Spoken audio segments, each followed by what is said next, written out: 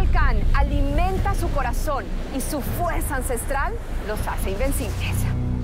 Carla, medallista departamental de natación.